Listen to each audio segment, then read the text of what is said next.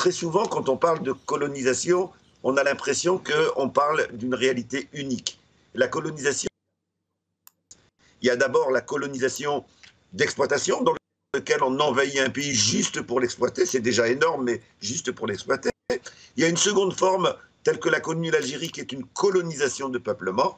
Et puis il y a une troisième forme, qui a été plus rare, mais qui euh, a été plus difficile à combattre, qui est la colonisation collective.